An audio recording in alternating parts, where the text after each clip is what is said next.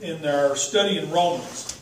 The stuff we've studied up to this point kind of built up to this, and what we're studying here lays a foundation for everything that comes after it. So there are some critical things here in chapter 8 that we want to make sure we understand and uh, are grounded in these concepts and so forth uh, as we go through here. Some of these things we just kind of uh, introduce because as we continue through the rest of the study and in things that we're going to study after we finish the study in Romans, we'll always come back to this, refer back to these things. Because the, some of these things uh, are hard, to, well, really, you can't eh, do an exhaustive study all at once on those things. There are things like, uh, for example, the creation evidence that we, uh, we introduce concepts to our minds. And that kind of forms a foundation for things that we learn and study after that, a foundation for our understanding.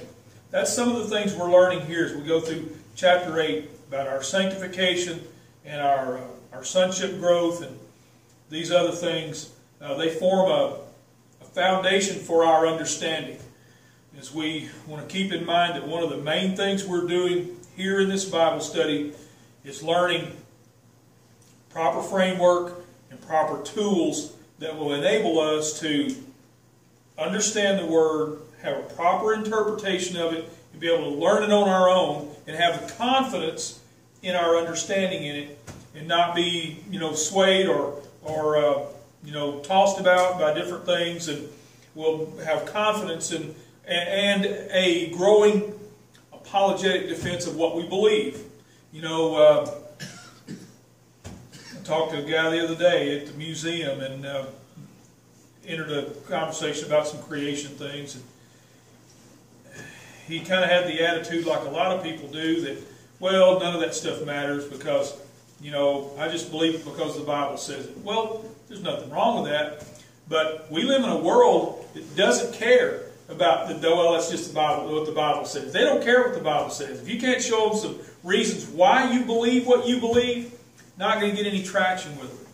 So anyway, a couple of weeks ago, we uh, had talked about some. Remember, we had the map up here, and we had kind of a history lesson. We talked about some of the things about uh, uh, Islam, and it, uh, this was after the Paris attacks, immediately after the Paris attacks, and we talked about that. And so forth. And, uh, you know, uh, of course, nobody knew that now, two weeks later, we'd be here and we've had one of those kind of attacks in our country.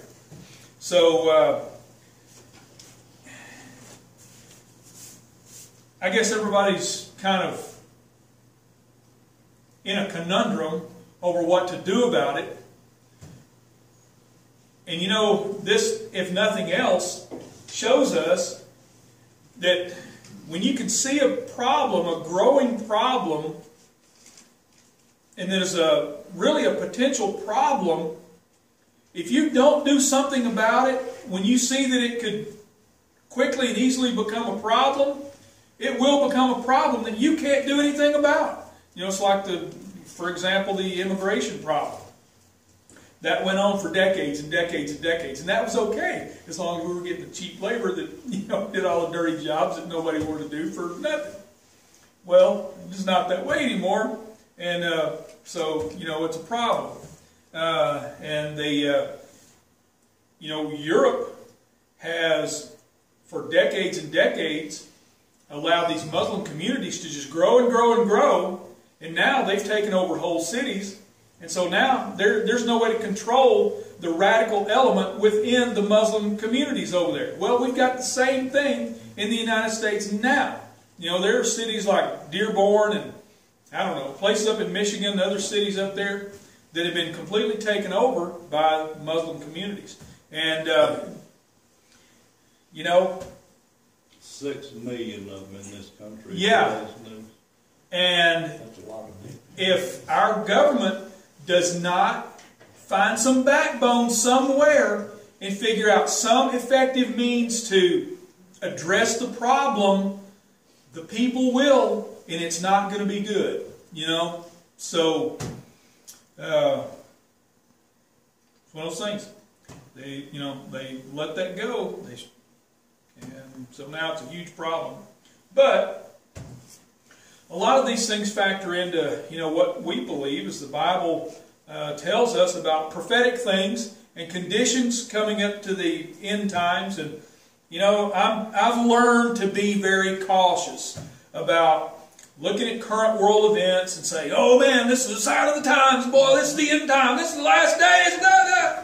Jesus is coming back. Yeah. I learned to be very cautious about that. Because a lot of the things that we see in history have happened before. It, it's cyclical. And what the Islam is trying to do now, they've always been trying to do throughout their whole history. They've always been trying to take over Europe. They've always been trying to take over the world. They want to, the, the religion wants to dominate the world for Islam. That's one of their core beliefs. A lot of them will deny it, but that's one of their core beliefs. It would be like, it would be like for Christians, I guess there are some Christians that would say this, but that would be like, you know, evangelical Christians, us, to say, oh, no, we, we don't want to convert people to Jesus Christ. We don't want to preach the gospel all over the world and see people come to Christ. Oh, no, that's not what. That is what, you know, one of our, like the core of our main motive. Yes, we want to do what we can to, uh, you know, communicate the gospel message to everybody everywhere we can so that they can hear the truth and come to Christ and be saved. So, you know, for us to deny that is like the Muslims denying that Islam has, the, has one of its foundational tenets to dominate the entire world. So anyway, uh, you know, I don't really want to get on a soapbox about that, but here's another one of the problems. Too many people, and I'm talking about preachers standing in behind wooden things with a cross on the front, have been too afraid to say anything, or they didn't want to say anything because it's controversial or whatever, or they thought, well, they're just going to preach Jesus and that's let all the other stuff go, ignore all the other stuff. And there's too, been, been too many people who have just buried their head in the sand and pretended like, well, it will just go away. I'm not going to say anything. Well, so the Bible says you got to love your, your neighbor. So yeah, yeah, yeah. so love our neighbor. Doesn't matter that they're trying to chop your head off. You know. So, you know, and yeah, we. I mean, we're supposed to love our enemies and all that stuff. But at the same time, that does not negate our responsibility to protect our the foundations of our law-abiding society. You know, so. Uh, and I know we've got a lot of problems in America. Hopefully, we can vote the main one out, in, you know, about a year from now. Amen. But uh, well, he'll be gone one way or another if we don't wind up with one that's worse. But, uh, you know, America, our Constitution is still the best government that men have ever come up with. It's still, you know, still the best place to live. But, you know, if something doesn't happen, it won't be.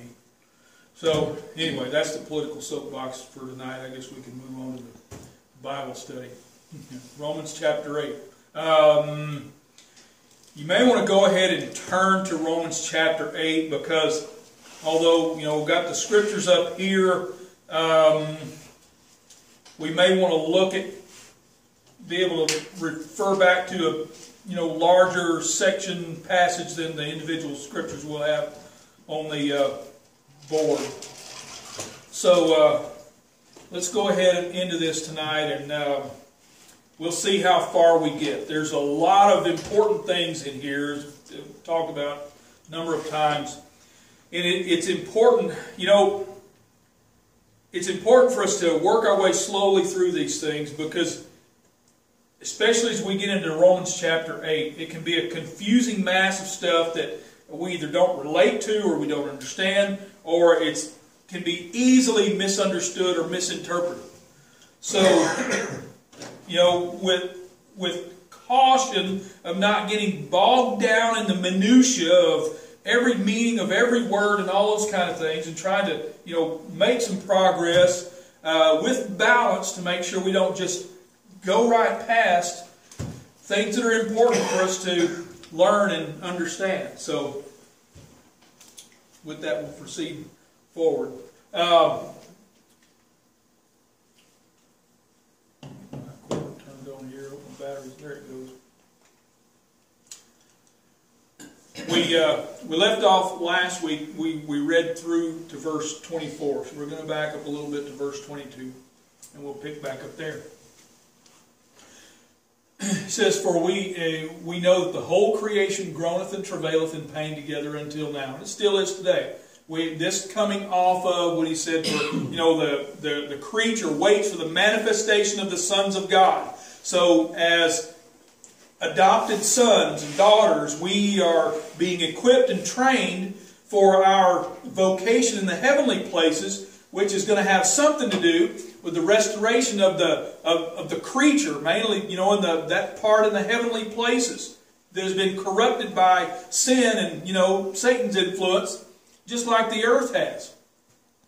So we we know now how do we how do we know this? Well, for one thing, you know, Paul's told us that that's the case. Uh, but we also know this because we can see it.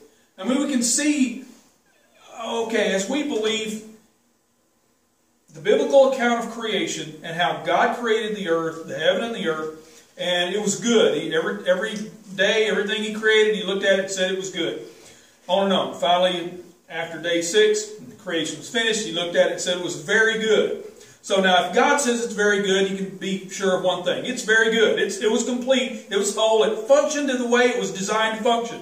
And it was productive. Every part of it was productive and uh, work together to uh, make it produce what God wanted it to produce. And it would have had it not been corrupted by sin, Adam's sin. So, I mean, we can, the fact that the whole creation groans and travails in pain together until now, and, and we, we can see it, you know, we can experience it. We are part of the creation. we groan and travail, you know, I mean, dogs chew our hands off. And, we you know hurt our backs and we get we get injuries that haunt us for the rest of our life and all kind of things like that. You know because we live in a corrupted world. Uh, so you know we uh, we're with that groan and travail and pain until now. And you know and the travail is the uh, the word that signifies you know like a, a, woman in labor getting ready to give birth and so forth. Uh, in that the like the whole creature is anxious for the next thing that's going to happen, which is when the Lord will return and He's going to straighten all this mess out. Groan here is to, I just copied the, the uh, definition right out here and put it on. So, it's to make, uh, in, to put in straight, to, you know, like that, restrict or to sigh to murmur, pray inaudibly, with grief, uh, you know, or groan uh, like with a, a, grudge or heavy sighing, things like that. And uh, synonyms, he said, the groan proceeds involuntarily as an expression of extreme pain, either of body or mind.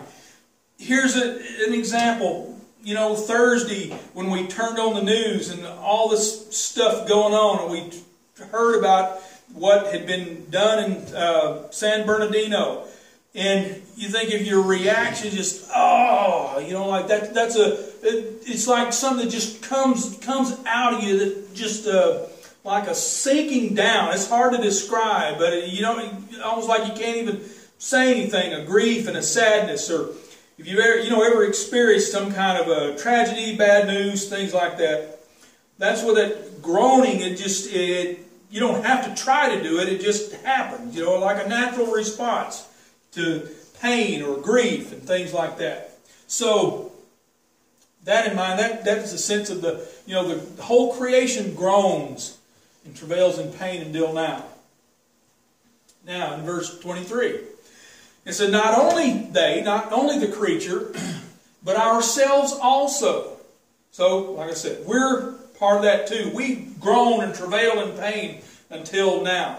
Because from what we believe, the Bible teaches us that there's something better coming, that uh, we're going to receive glorified bodies. Uh, it, it, you know, it will be these bodies we have, but they're going to be in a glorified form. We won't have all the ailments and sicknesses and injuries and uh, uh, you know results of aging and all those kind of things that we all suffer through uh, in these bodies. They'll they'll all be corrected. They'll be gone. We'll have glorified bodies like Christ's resurrected body.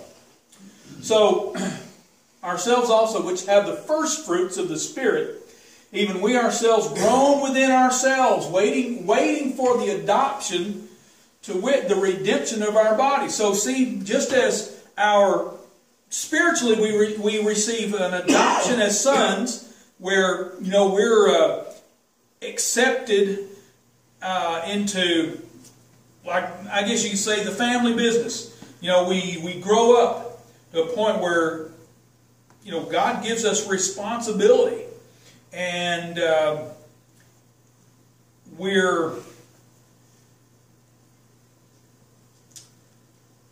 we receive a, a, you know greater understanding of things, greater insight. Um, we understand the liberty we have in Christ to take responsibility, to make decisions, and uh, pursue the gifts we have and abilities we have to labor with our Heavenly Father to accomplish His will. So, uh, that adoption we have, but also our body, our physical body, is waiting for its adoption to, you know, uh, sonship. Its adoption is the redemption of our body. So even our corrupted physical bodies, like our spirit was redeemed when we came to Christ, our body will be redeemed as well. Either whether we're resurrected, if we, you know, die before uh, the Lord returns, or if we're alive and He returns and we're, you know, changed and taken up. Either way, uh, we're waiting because it, we understand that from our understanding of the Bible. That's what it teaches us, and so, uh, you know, and to not to not understand that kind of puts us on a I don't really say wrong course, incorrect course. Uh, it's very easy for us as, well, people, but even as Christians, who should know better, it's very easy for us to just get focused on the things of the world. You know, um, making sure that, I don't know, uh, we, we seek for security and uh, uh, I don't know, maybe go overboard and well, I guess what I'm trying to say is kind of developing the attitude like we think we're just going to live forever. Like we think nothing's ever going to happen. We're never going to get sick. We're not going to get old. like we think we're not going to die. That's just not the reality of it.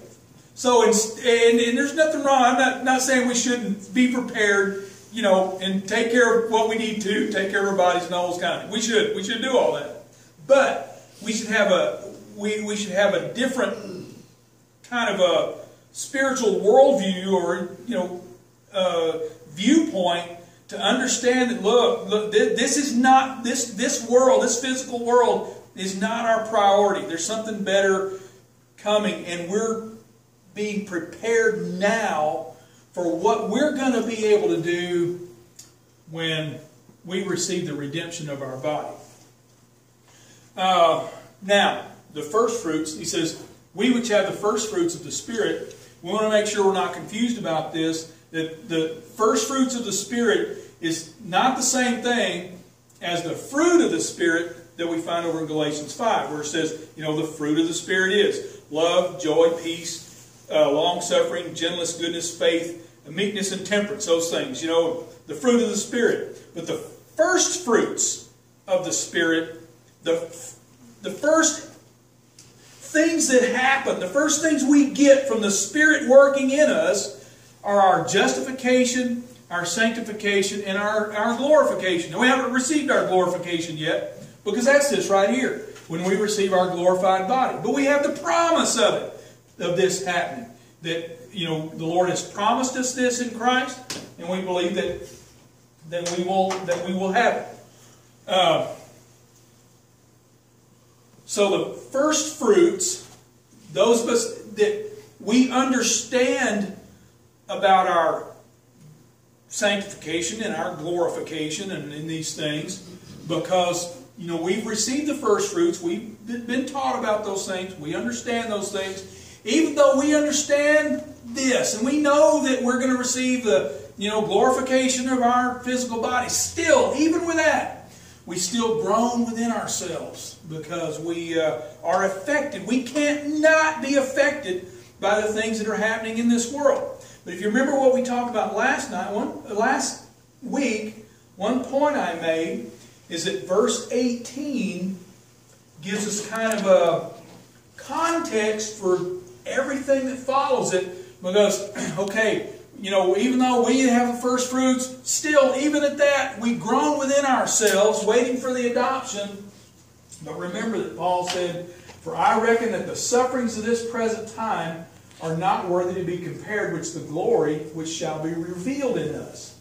Even though we know this, but still we we can't help but groan within ourselves. Now, you know, some little I got arrows up here. Okay, the sufferings of this present time. Well, we know that that's what's happening now, and it would ha- happen to Paul back then, and you know all of his contemporary people and the Christians then. Well, it's been happening to Christians ever since then, and the sufferings of this present time, and we could go into a lot of what that is. It's, uh, you know, probably includes just the normal, everyday, you know, wear and tear on our bodies and other things we suffer.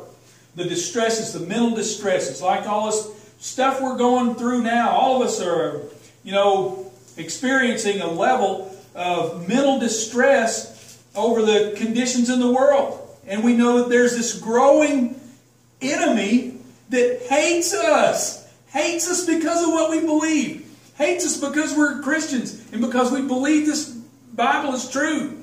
And uh, there are a lot of them, a lot of them that if they have the opportunity, they will kill us. So the, all that's part of the sufferings of this present time. And that's happening now during the dispensation of grace. And but the glory which shall be revealed in us is going to happen, you know, down here. Well, you could kind of put that arrow here at Christ's return, because when we're resurrected or changed, really, really it'd be more accurate to have that arrow. Oh, excuse me. Let's just put it. Uh, yeah, we'll just go right up here. That's really when we're going to you know, receive our glorified body and so forth. So, I wanted to put this verse on the board because we want to make sure we refer back that as we're going through these other verses and keep this in mind. It's kind of a context of where we're going with this. All right. Now, we talk about that. Verse 24. He says, for we're, we're, we're saved by hope. In this, here again, we want to make sure we understand the, the word usage there of saved. It doesn't always mean saved like we generally think of our, you know, soul saved, our justification unto eternal life. Uh, it kind of has both meanings here that say justification unto eternal life and also physical salvation, our physical deliverance. And that's more the context here, the word usage of saved here, it's sozo, the Greek word, sozo. And it means a physical deliverance. So, our the redemption of our bodies, physical deliverance for us is something that we have it by hope. Uh, none of us have seen it. You know, hope that is seen is not hope. It, you know, I don't, I don't have to hope for a nifty little, you know, school pointer because I have it right here in my hand. Now, if I didn't have one of these, you know, and, and Julie told me she's going to buy me one, then I would have the hope that I was going to receive one someday. Maybe for Christmas, you know. Make a pretty good stocking stuffer. uh, so, the redemption of our body, we believe that we're going to receive that, even though we haven't seen it. Uh, this is what we see, we don't hope for. But we hope that we see not, then do we with patience wait for it. And this is kind of like instructional. Okay, we haven't seen it. We none of us have ever even seen anybody in a glorified body. Now, it's possible that some of the people Paul wrote to, they may have been among that group of people that saw Jesus in his glorified body. They, you know, I mean, these were Roman believers, but uh, you know, he said Jesus appeared to over 500 brothers and sisters all at once. So it, it's very possible and likely that some of the people he was writing to had actually seen Jesus in his glorified body. So they knew what it looked like and uh, had experienced that. Well, none of us ever have. We've never seen anybody in a glorified body. But we believe that we'll receive one. And here's one of the reasons why we have this hope and it's sure is because the other two first fruits of the Spirit, we have experienced our justification. We've come to Christ and we've, uh, you know, received His life, His Spirit uh, living in us. We've been redeemed. We, we've experienced that justification we're experiencing sanctification. Listen, if, if you weren't going through the process of being sanctified, you wouldn't understand any of this. I wouldn't understand any of this if it wasn't for the Spirit of God working in us to, you know, open our understanding and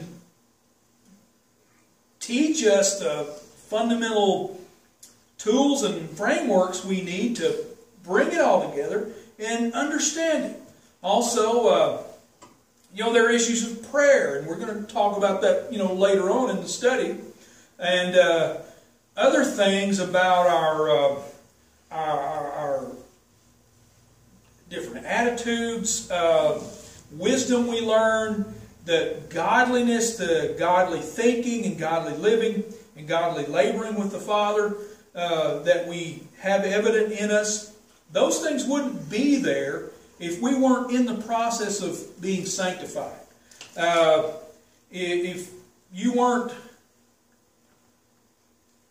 going through the process of sanctification, I guarantee you, you would not come here every Monday night and listen to me stand up here and teach the Bible. So if it mean if, if it means something and you're understanding it and growing in the Word, that's our sanctification in action. It it's working and it works. You know, it's not always you know flamboyant and you know uh, what's the word I'm looking for. Uh, uh, well, anyway, big you know, emotional outbursts and all that kind of stuff. Charismatic sometimes. Some, you know, it may be, but not always. Our sanctification is, uh, is solid, steady growth and learning. Okay. So we hope, we, we have a great hope uh, that we're, we, we're not going to, our bodies are not going to be in this condition forever. They will be changed and will receive a glorified body and uh, it, it, will be, uh, you know, a great thing not to suffer the things we do, not have the limitations that we do in these physical bodies, and we will be able to then carry out the things that we're, you know, designed to be able to do. And it will be great. Uh, you know, I think we're going to, when we're in our glorified bodies, I think we're going to, we're, because I believe we're going to remember I I don't think we're going to be that much different as far as our per. We're going to keep our personality. Who we are now, that's who we're going to be then. We're just going to be like Christ, you know, be in a glorified state. Be more like Christ. And I think we're going to look back and say, how in the world did I live all those years in that thing? How did we function? How did we operate at all, you know? Hmm. So, anyway, we have a great hope. Uh, something good to look forward to. All right. So, likewise, the Spirit also helpeth our infirmities, for we know not what we should pray for as we ought, but the Spirit itself maketh intercession for us with groanings which cannot be uttered. Now, whole lot in here in this. I'm not going to try to exhaust it all. We're going to hit some of the high points. Um, important for us to understand the, the things that have led up to this because there's generally a, kind of a lot of misunderstanding and misinterpretation surrounding this verse and what it means. Now, in our general thinking, we think of infirmities as you know physical sicknesses or diseases or so forth, and it is that. But here it is more our weaknesses. Now remember, in the context, uh, he's talking about infirmities specifically, and it's our weaknesses to accomplish the things that number one, you know, we would like to accomplish, but our infirmities to uh, produce godliness and righteousness, and, and, or I guess what we want to say is our weaknesses and inabilities to uh, produce the things that sanctification will produce in us. That God's plan and purpose and His way of working will produce in us things that we can't. We're because you know we're weak we're weak because we're in these these bodies, uh, and we're we're affected by that. Uh, we're weak because we're part of the creature that groans and travails together until now, waiting for the redemption of our body, you know, and so forth. Uh, so the Spirit helps our weaknesses in those things. Now, I know a lot of times we tend to want to take this, and here again, we got to remember that especially here, we, and I'm going to say this because I've done it too, years past, you know, it's very easy to go in here and take a verse like this and pull it out of there and stand it up on its own, build a sermon around it, and, you know, preach the Spirit helps our infirmities so that whenever we're sick or whenever we're weak or whenever, you know, dog bites us in the hand or whatever, things like that, uh, I've got one too right there. Mine's not as bad as yours. Dog got me right there. I think I was. I remember I was trying to get a bone away from her or something. They'll do it. or playing with her. Our dog had her operation this week, so she's a pitiful. You know. The cone of death. Yeah, you know the cone didn't work out too good. She just, you know, dig it into the ground. So we took the cone off. She's been fine. She's all right. She's just mad at me because I won't let her go outside and run around and play and all that. So anyway, she's doing good. But it's very easy to, to just say infirmities means all of our physical ailments and all those kind of things, and the Spirit helps us in our, you know, when we're sick and all those kind of stuff. Now, we can't say that no, He doesn't, but uh, that's not what we're talking about here. Uh, now, the Spirit helps us our infirmities, this is related to immediately what comes after it is a for we know not what we should pray for as we ought. So our not knowing what we should pray for as we ought has to have something to do with our weaknesses and our inabilities to you know accomplish the things God's wanting to accomplish in us. And the uh, the things that make us you know, groan within ourselves, waiting for the adoption, the redemption of our body. So these, these things are the weaknesses, the infirmities, kind of in a nutshell of what he's talking about uh, up here. So,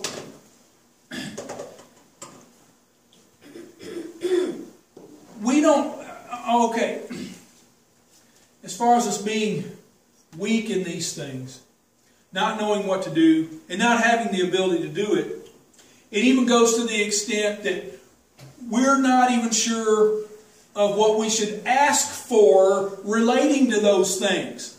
Uh, this ties into some things Paul talked about over there in mm, Philippians, I think, where you know he uh, made statements such as, you know, I'm kind of in a, uh, a, a strait.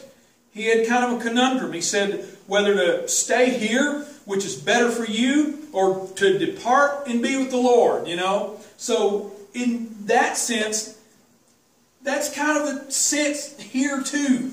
You know, one of the things that we don't know what we should pray for as we ought because we're in such straits and we're in such a uh, you know groanings over the conditions we're in and, and all these things and the sufferings of this present time we don't know whether we should pray for god to you know take us through it or take us out of it you know and listen you know paul even said he said i him and some of his companions, at times things got so bad that he said, We despaired even of life. And this is the Apostle Paul. It was under such tribulation and distress that he was just tired and just tired of living. He wished he could just die, you know.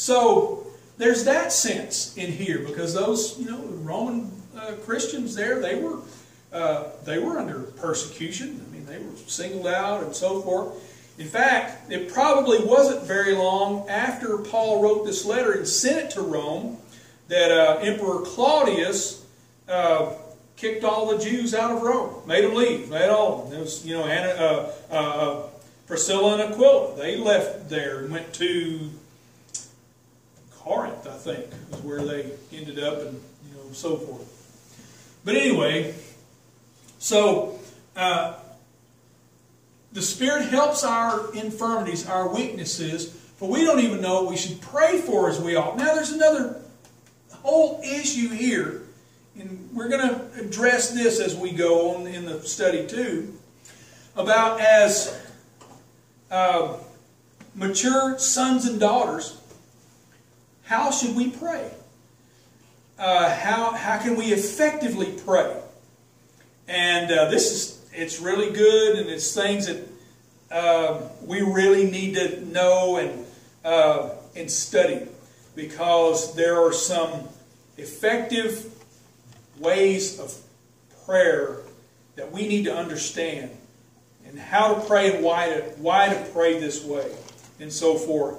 Uh, and it's a lot different than our Christian culture customarily designs, directs uh, praise.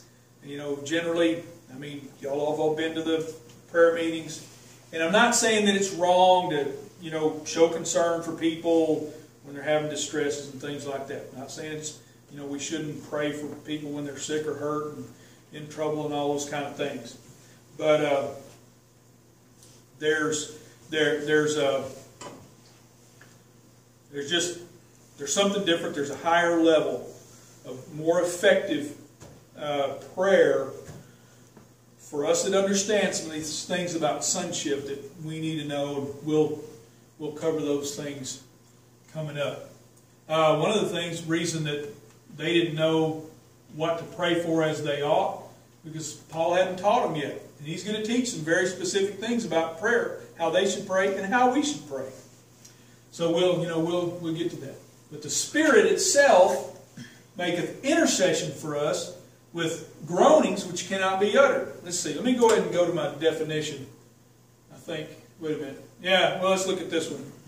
Uh, infirmities, you know, feebleness of mind or body, malady, you know, or morally or frailty, disease, infirmity, sickness, or weakness. So it can cover a lot of things. Let's see. I already we already looked at groanings, right? Yeah, so anyway, same definition.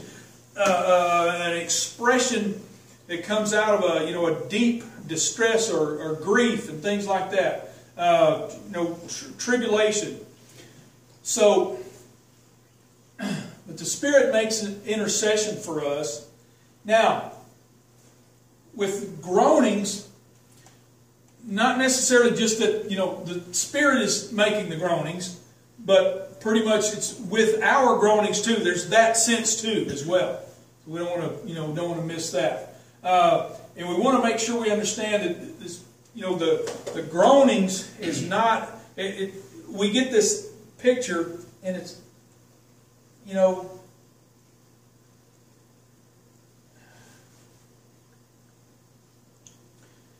what do we think? Now, this has been, a, if we'd admit it, this has been one of those kind of verses or section of a verse that's often been a little bit hard to understand. We've looked at this, we've read it, and we've thought, what in the world does that mean? I know I always have. You know, what what exactly does that mean? Does that mean that okay, the Spirit of God that interacts between us and God the Father, does that mean that He knows the troubles and things that we're going through, and He's so distressed over it that the, the Spirit is in communicating with God on our behalf is just, whoa, you know, groaning like that, or can't even say anything, is so distressed with grief and all that. Nah, that's that's not it. Uh, you know, that's not it. Uh oh. I don't how turn deck Maybe under terrorist attack, alarm goes off. I don't imagine Frost, Texas, real high on the terrorist target, but you never know. Those people in San Bernardino probably didn't think they were either. Uh, Carson, I've got a personal experience that kind of fits this verse. Um,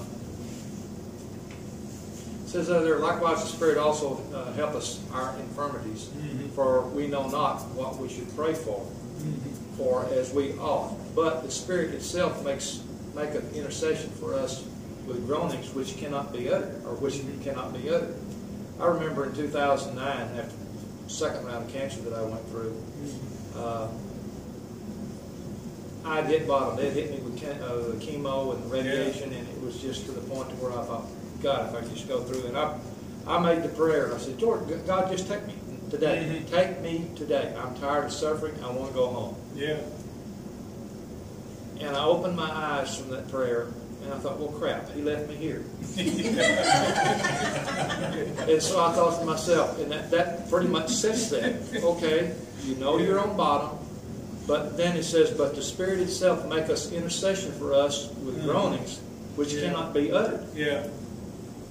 And I got to think, and I've, I've had, had a problem since that time. Yeah.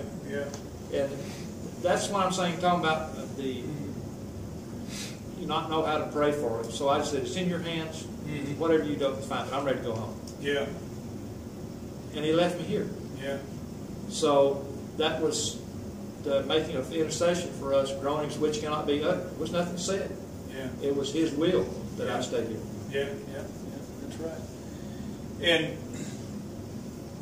groanings, we go back to uh, that we as part of the creature, we groan within ourselves, right. waiting for what? Waiting for the redemption of our body. Right. That's, Waiting for that time when this Right. stuff's not going to happen anymore. I'm through. I'm tired. Right. You know, and and and so you know, like that. There, there's nothing wrong because I would do the same thing. Mm-hmm. I said, God, I'm tired of this. Mm-hmm. Just but it's, know, out, it's out of my hands. It's in his hands. Yeah.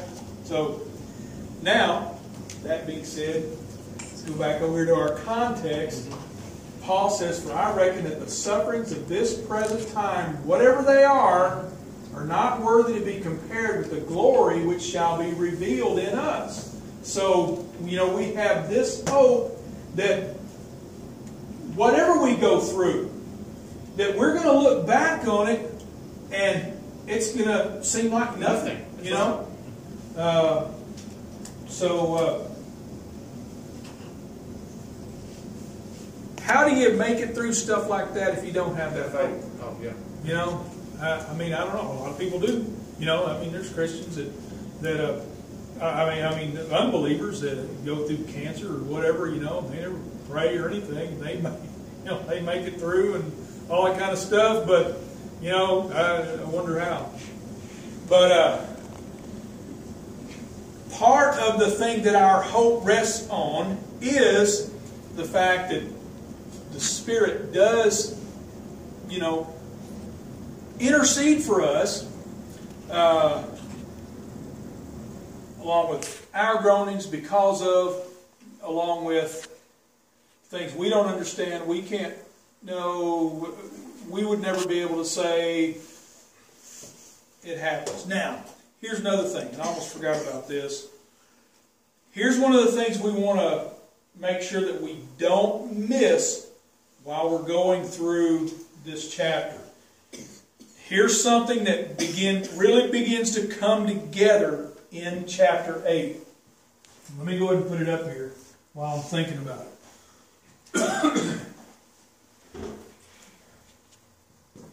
Put it like this.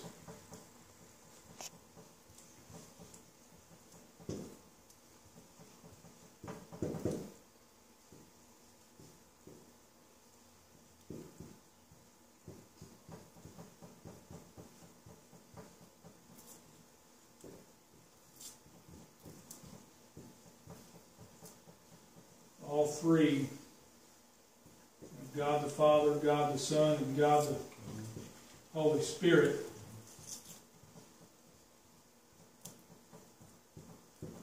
Because, you know, we, we, we've looked at, we've established, well, really even in chapter 6 and 7, uh, we're, we're in Christ, and uh, that the, uh, the things that the work that has been completed in Christ enabled God to justify us freely and has also enabled Him to sanctify us and start us in that process of sanctification. This is, God has done, working through the Son and now through the Holy Spirit. So these things we're seeing happen uh, are, are culmination of all three persons of the Godhead all coming together to work together in us. And the things that God is accomplishing in us, in our sonship, are things that are done through the action and working of all three. The Father and the Son and the Holy Spirit. So this also we want to keep, keep in mind as we're going through here. All right, let's see. Um, let's go ahead and go through these next two verses because I want to hit on those, and then we'll uh, we'll come back and pick up on those next week. Um, yeah, there's a okay. Let's see. Yeah, let's go. We're talking about, about groanings. This illustrates that to us. What kind of what we're talking about. Uh, back in Judges 2, the Lord raised them up judges. The Lord was with the judge and delivered them out of the hand of their enemies all the days of the judge, for it repented the Lord because of their groanings by reason of them that oppressed them and vexed them. So we get a sense of that. Now, let's go back to uh, verse 27, or continue, verse 27. That's how God dealt with Israel then. He raised up judges and stuff when they, you know, they're, they're crying out to God because of the oppression of their enemies and so forth, and He delivered them out of it. Of course, this was during the cycles of judgment, and they, you know, went back to idolatry and went through the cycles and so forth like that. So he deals with us differently now. He that searcheth the hearts knoweth what is the mind of the Spirit, because he maketh intercession for the saints according to the will of God. So here, here again, uh, here we find uh, God the Father and the Spirit working together in us. He that searcheth the hearts. Now, uh, I've heard kind of this taught as that we're supposed to search our own hearts, that we're the ones that search our hearts. Wait just a minute. This is where we need to get a biblical context on this. First Chronicles 28 9. Thou, Solomon, my son, know thou the God of thy father, and serve him with a perfect heart and with a willing mind, for the Lord searcheth all hearts. Understand the imaginations of the thoughts. If thou seek him, he will be found in thee. Thou forsake him, he'll cast thee off forever.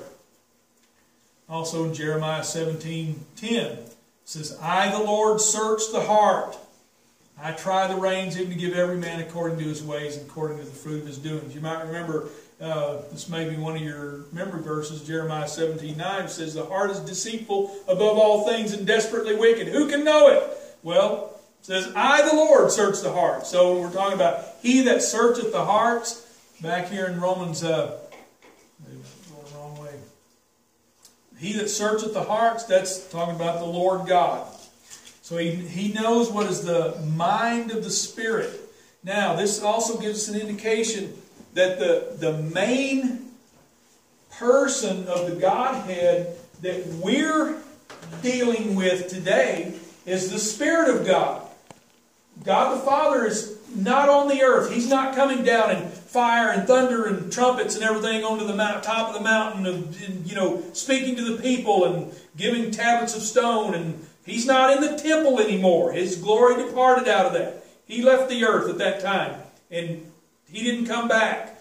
God the Father is seated on his throne in heaven. That's where he is. God the Son is not physically operating in the earth today. He is seated at the right hand of the Father, where he will be until he arises from his seat to return to the earth and judge his enemies. So, now the person of the, uh, of the Godhead that's working in the earth today is the Holy Spirit. That's the one that's uh, God is working through His or by His Spirit through His Word in our inner man uh, to accomplish His will. So, He that searches the hearts, God knows the mind of the Spirit, the intents, the thoughts, the uh, plans, motives, the ways that the Spirit is working and so forth. Because he makes intercession for the saints, here's the key phrase right here according to the will of God. So if we go all the way back up here, where we were, likewise the Spirit also helpeth our infirmities, for we know not we should pray for as we ought, but the Spirit itself maketh intercession for us with groanings cannot be uttered. We go back to here that he's making intercession for the saints according to the will of God. So, not only does that tell us that he's interceding for us, but not just to ask God to do what we want Him to do or, or to just make things easier for us, but the intercession that He's making on our behalf is for this purpose, is according to the will of God. So, if we're suffering through something, the sufferings of this present time, if we're going through those things and in our groanings we cry out to God, uh, even just understanding why we're going through these things and it won't stop or won't quit or we can't find a solution for it, then it may be that according to the will of God, He's using those things to teach us patience. It's what we saw over there in Romans 5 1, where tribulation worketh patience and patience hope and those kind of things like that. You know, we, all right, when we were kids. I mean, everybody in here, you know, grew up working. We all we all worked and did things. Uh, hard, you know, hard work. Now, a lot of that hard work that we did, uh, it it may not have been things that that absolutely had to have been done, but our parents, grandparents, people we worked for, whatever, they understood something maybe we didn't understand. They understood that, that uh, while maybe some task, chore, job, or something, hard work, may not necessarily have been all that vital to the operation of whatever we were doing, it was vital for teaching us character and patience and work ethic and those kind of things. It's, it's like uh, I heard a story one time. I wish I could remember it. Basically, in a nutshell, uh, it was a, a farmer, and he uh, he uh, planted a, a, lot of corn. He had cornfields, planted all this corn. And uh, he had a family, had you know sons, and kids, and so forth. And uh, somebody, neighbor, somebody said, Farmer Jones, whatever, why do you plant all that corn? You don't need all that corn. He said, well, I'm really not raising corn. I'm raising sons. and they need something to do, you know. So here's the thing. Not that God wants us to needlessly suffer or have to endure anything, but listen, sonship principles are sonship principles. Whether it's in human terms, or raising our kids and making them work or have to endure hardships and things like that. I'm talking about, you know, winning reason, not being oppressive or mean or anything like that. But making them endure hardships and learn how to work, it, we know it's for their own good. Uh, there, there are things that as human beings we are not going to learn if we don't learn it the hard way. I know for me, all of my lessons in life all seem to been hard and expensive. I never got any cheap, easy lessons. I guess because we don't remember the cheap, easy lessons. We only remember the hard, expensive ones, painful ones. So anyway, same thing applies. So we want to keep that in mind when we're, we're looking at these verses here. And yes, the Spirit makes intercession for us. And, uh, you know, we've groan within ourselves, waiting for the, uh, we're just, there's something even in the back of our minds. We'll just be glad when this is all over with. So tired of all the distress in the world and all that stuff. So, within that, what the Spirit is going to do, His working in us, what He's teaching us, His intercession for us, is going to be for the purpose of accomplishing God's will in our lives. Sometimes that will includes things that have to build patience and endurance and uh, trust and hope and uh, those kind of things that only that don't come easy. They only come hard, uh, but it's necessary. You know, with what we may face in the future, uh, we better have some endurance. We better have. We better develop some toughness we better develop some uh, willingness. Now, I'm not saying that we don't have that, but I'm just saying we better make sure we do uh, to, to stand our ground and stand for the Lord Jesus Christ no matter what. Uh, okay, let's let's uh, let's go to this last. Well, let's see. Yeah, that's good. We read that. Okay, I tell you what. We're just going to stop right there because I need to come back to this next week and pick back up here because there are some things in Ephesians 3. In fact, here's your homework. Read Ephesians chapter 3. No worksheet or test, but uh, make yourself a note this week in your Bible reading. Read Ephesians chapter 3, and that will kind of prepare us for uh, what we come back to next week. So we'll stop here and uh,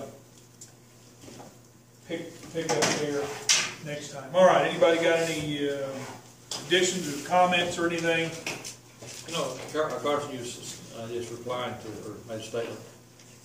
The things that you, in your life, that you go through, that's easy, you don't Mhm. remember. Yeah, It's the ones that's tough, Yeah. that you, they are Yeah. embedded into your yeah, yeah, brain. yeah, yeah, yeah. That's right. Yeah. And it, I mean, it, it, that's just the way it has to be. It's the only thing that's effective. That's the only effective means of teaching us. You know, I think that's one thing that's wrong with society today, is they, they don't worry about tomorrow, they just take care of today. But, Yeah. you know, those bumps in the roads and stumbles that you go through, you remember them. yeah, The old saying is, if it don't kill you, it just makes you stronger. yeah. Yep. And, you know, within all that, we, uh, we have, we have to stay on top of some things because